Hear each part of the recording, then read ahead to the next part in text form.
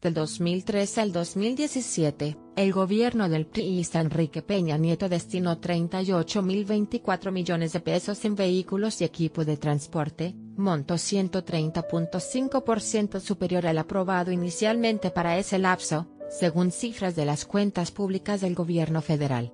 Según las cifras del presupuesto, el total que se tenía planeado para gastos en vehículos en esos cinco años era de 16.493 millones de pesos, así que al final se gastaron 21.531 millones más.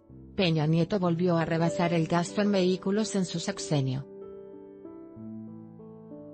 Foto. Sin embargo recordemos que el gasto aprobado por el gobierno incluye la adquisición de vehículos, para transporte terrestre, aéreo y marítimo para servicios y seguridad públicos, así como los vehículos terrestres para servicios administrativos y los destinados a funcionarios.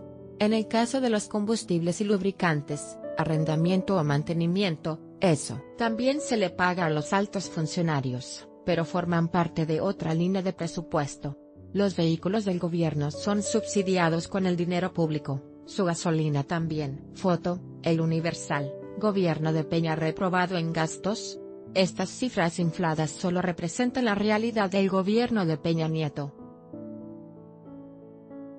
Durante toda esta administración federal, que está a punto de terminar, el gasto fue excesivo a pesar de que cada año se proponía ahorrar, algo que nunca cumplió. En otras palabras, se gastaron hasta lo que no tenían.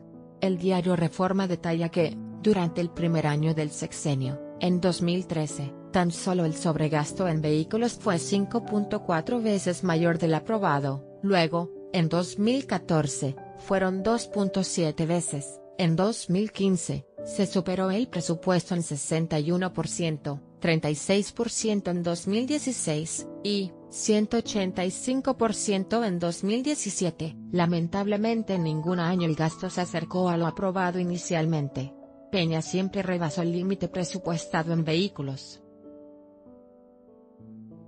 Foto, Milenio, ¿qué problemas tiene México con los gastos de Peña?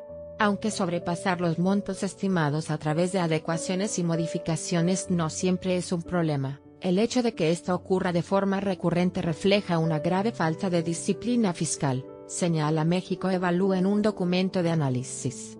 La adecuación excesiva en el presupuesto, conocida como viraje, también es un indicador de una débil disciplina fiscal, que termina por desincentivar la buena programación del presupuesto y el diseño adecuado de los programas y proyectos. De acuerdo con el organismo, el problema de sobregasto, que ha sido señalado desde principios del actual sexenio, no se limita a la actual administración, pero sí requiere urgentemente mecanismos presupuestarios que permitan un ejercicio más claro de la planeación y uso de los recursos.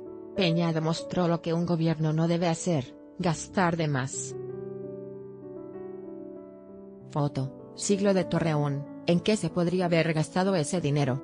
Aunque el gasto en vehículos es necesario en todo gobierno, la excesiva cantidad que se manejó en este sexenio puede servir de base para calcular el dinero gastado en algo que de verdad pudo haber ayudado. Según el presupuesto para este año en curso, 2018, programas sociales como comedores comunitarios tuvieron un presupuesto de 3.205 MDP, en el caso del abasto rural, a cargo de Diconsa, 2.155 MDP, el de fomento para la economía social, 2.112 MDP, en tanto que el programa de abasto social de leche a cargo de Liconsa, 1.260 MDP.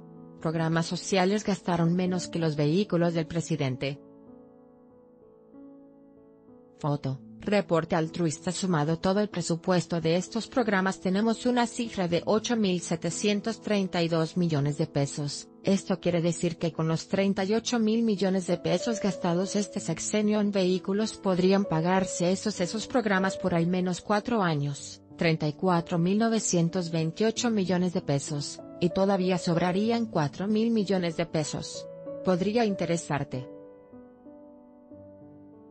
Era chisme, Peña Nieto no pidió prestados 10 mil millones de dólares a AMLO y el gran reto de no llevar a México a la quebra diputados y senadores gastan 452 millones de pesos en sus seguros médicos.